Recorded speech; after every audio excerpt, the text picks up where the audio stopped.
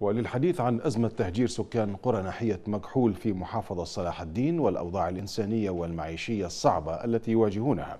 معنا من الدوحة المتحدث باسم مرصد أفاد الأستاذ حسين دلي عبر سكايب. مرحبا بك بداية أستاذ حسين. يعني بعد وفاة رضيع من قرى مكحول المهجرين ما هو المبرر للقرار الحكومي بتهجيرهم؟ بسم الله الرحمن الرحيم. شكرا على الاستضافة. تحية للرافدين وجمهوري الكريم. الحقيقة هناك تخبط واضح في سلسلة الأوامر القيادية على مستوى العسكري وعلى وزارة الدفاع والعلاقة بينها وبين وزارة الداخلية والمغاوير والحشد الشعبي في تلك المنطقة التي تشهد هجمات لتنظيم داعش بين الفترة والأخرى بكل وضوح تنظيم لم يهاجم هذه القرية ولم تنطلق منها أي عمليات أمنية لكن القرار ذرائعي بامتياز اللواء عبد المحسن الذي قاد عملية صلاح الدين عبد المحسن حاتم هو الذي أعطى القرار بصورة فردية ربما هو يعني تكتيك عسكري أنا لست خبير عسكري لكن أنظر الأمر من منظار حقوقي أن القرار حسب ما فهمنا من الاتصالات مع بعض المؤسسات العسكرية ومع بعض نواب صلاح الدين ناهيك عن الجهات الإدارية المسؤولة في ناحية مكحول أو في محافظة صلاح الدين. أكدت أن القرار لم يصدر من رئاسة الوزراء ليس من القائد العسكري للقوات المسلحه وليس من وزارة الدفاع وانما اتخذ القرار بصورة فردية من فريق عبد المحسن حاتم وتم تنفيذ القرار من اللواء 91 الموجود في تلك المنطقة. هذا القرار ألقى بظلاله على العوائل نتكلم عن أكثر من 500 عائلة. الإشكالية أن هذا القرار ولد إشكالية مع وزارة الهجرة والمهجرين العاجزة أو المتخاذله عن أداء مهامها بحجة أن الوزيرة الآن تخلت عن مهام الوزارة. وهؤلاء المهجرون ولا نقول نازحين لأن هذا القرار حكومي رسمي مهجر بشكل واضح ينامون في العراء بخيم بسيطة جدا ليست هناك مساعدات إلا مساعدات بسيطة تشكر عليها منظمة الهلال الاحمر العراقيه التي وصلت إلى تلك العائلات. لماذا لم توفر الحكومة منازل بديلة؟ هناك برد قارس وهناك حالة وفاة وربما هناك حالات وفاة سوف تكون في المستقبل، يعني مهما كان المبرر، الموقف الحكومي لماذا لم توفر منازل بديلة في هذه الظروف القاسية؟ نحن نحن وجهنا هذا السؤال لعدد من الجهات الرسمية وكان عدم الإجابة أو النفي أو التخبط حتى في مسألة معرفة القرار أو الجهة التي مسؤولة عن تحمل تبعات هذا القرار العسكري كان يفترض على الأقل إن كان هناك ضرورة أمنية فعلية أن أن يبادر إلى نقل هؤلاء إلى مركز الناحية. هناك مساكن تؤجر لهم أو تبنى لهم على الأقل لو افترضنا تلك المخيمات. لا تكون في منطقة العراء ولا تكون في منطقة بعيدة وشحيحة عن المساعدات.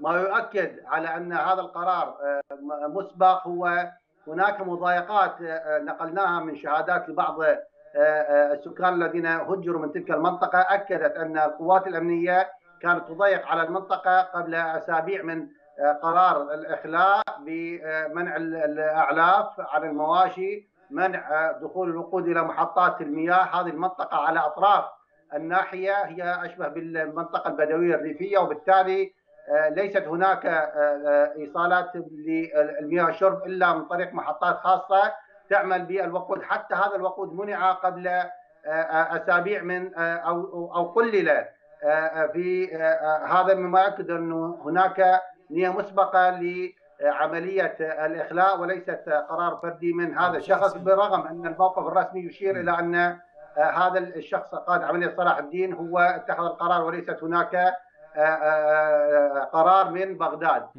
هذا المسألة يذكرنا بسلسلة من القرارات العفوية الارتجالية سواء للقوات الحكومية أو قوات الحج الشعبي سواء في محافظة الأنبار. هناك قرية الرمانة على الحدود العراقية السوريه مهجرون أهلها منذ ثلاث أو أربع سنوات، هناك منطقة مجمع الفوسفات الكيمياوي في القائم أيضا.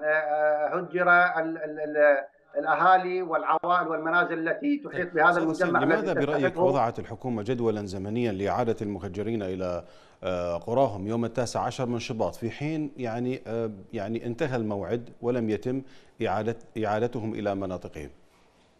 في حقيقة الأمر ليست هناك جهة رسمية تكلمت إنما هذا القرار قيل روي عن النائب مشعل الجبوري أن الحكومة قررت هذا القرار. ليس هناك قرار رسمي صدر من جهة معنية تؤكد قرار إعادة هؤلاء النازحين إلى مناطقهم. كل ما قيل تسريبات عن طريق الاتصالات الهاتفية والحقيقة الواقع مزري. يدعو إلى أن يتدخل رئيس الوزراء. المسألة ليست عائلتين أو ثلاث وإنما تتكلم عن 500 عائلة.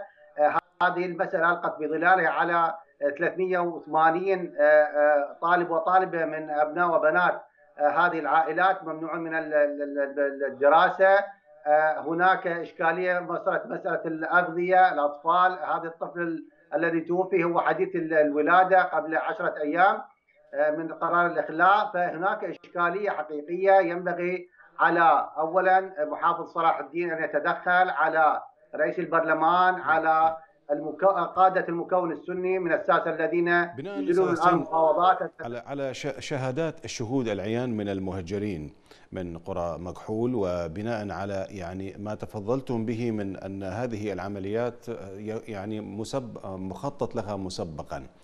يعني ما هي مخاوفكم في هذا الإطار وخاصة أن هذا التهجير هو ليس بأمر قضائي وليس بغطاء قانوني؟ يعني الواقع الآن حتى هذه اللحظة بعد تقريبا أكثر من عشرة أيام من قرار الإخلاء الواقع مأساوي. طبعا أولا هو انتهاك حقوق الإنسان لأن هذه المسألة تتم بصورة غير منهجية ولا منطقية ولا مخططة أن تدفع مئات العائلات نحو العراء بخيم دون توفير مأوى. هذا انتهاك واضح لحقوق الإنسان سواء قامت به الحكومة أو وزارة الدفاع أو قيادة عملية صلاح الدين. المسألة الثانية الشهادات اللي تصل من هذه العائلات سواء بالاتصالات الهاتفية أو بعض من استطاع الوصول في الأيام القليله الماضية. طبعا خلال آخر ثلاثة أيام منعت القوات الأمنية أي جهة إعلامية من الوصول إلى ذلك المخيم. ومنعت الكاميرات يبدو أن الموضوع قابل للإطالة والمسائل عن إعادة هؤلاء لم تنجز أو هناك سلسلة قرارات ينبغي أن تتبع حتى تصل إلى مسألة عودة هؤلاء الوضع الصحي، الوضع الطبي، الوضع المعاشي الاغاثي، نحن قلنا فقط منظمة الهلال الأحمر العراقي الوحيدة التي استطاعت الوصول إلى هؤلاء، الواقع مأساوي وللأسف محافظ صلاح الدين ليس له موقف حقيقي حتى هذه اللحظة ولا قادة المكون السني الذي يفترض أنهم مسؤولون عن هذه الجهة ناهيك عن رئاسة الوزراء التي نفض يدها من كثير من الملفات. طيب أخيرا أستاذ حسين، ما هي فرص تدويل قضية المهجرين؟ طبعا هذا الموضوع قديم جديد يعاد بين فترة وأخرى. موضوع التدويل نحن قلنا في أكثر من لقاء أكثر من حادثة مماثلة كما أسلفت موضوع التهجير. حدث في جرف الصخر في محافظة صلاح الدين في أطراف الأنبار في نينوى في البعاج. هذه المواضيع تكررت أكثر من مرة على مدى الأربع خمس سنوات الماضية رغم أنه التهجير مجرم في القانون العراقي والدستور والأمم المتحده تتابع هذا الأمر عبر ممثلتها في في العراق لكن الكل يبدو كما تشير كل الشهادات إلى أن هناك تواطؤ دولي على مسألة عدم الاهتمام بالواقع الإنساني في العراق. لا يتم الحديث الآن عن أي انتهاكات تجرى وبالتالي عملية تدوير قضية المهجرين تحتاج إلى جهد كبير جدا من الداخل ومن الخارج بتكثيف